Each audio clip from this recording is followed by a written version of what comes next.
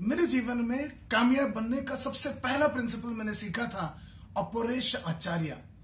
ये मिल्ट नाम का लीडरशिप ट्रेनिंग प्रोग्राम करते थे 1993 में। उनका लेक्चर अटेंड करने के लिए पहली बार गया था। उन्होंने कहा था कि कामयाब बनने के लिए ट्रायंगल ऑफ़ सक्सेस के ऊपर ध्यान देना ज़रूरी है।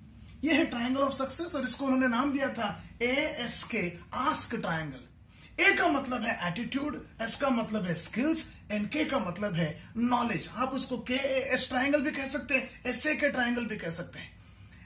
हमको कामयाब बनने के लिए सबसे पहला होना चाहिए नॉलेज नॉलेज नहीं तो हम सक्सेसफुल नहीं हो पाएँगे अगर समझे आपके पास कंप्यूटर है और आपको कैसे चलाना पता नहीं है तो उसमें फ़ायदा नहीं होगा. दूसरा जो होना चाहिए एटीट्यूड कंप्यूटर ऑन करके कंप्यूटर से फ़ायदा उठाने के मानसिकता आपके पास होना चाहिए. सिमिलरली तीसरा होना चाहिए स्किल्स कंप्यूटर के अंदर हज़ारों सॉफ्टवेयर आते हैं, उसको चलाने की स्किल्स होना चाहिए। जब आपके पास नॉलेज एंड एटीट्यूड स्किल तीनों होता है, तब आप डेफिनेटली लाइफ में सक्सेसफुल हो पाते हैं।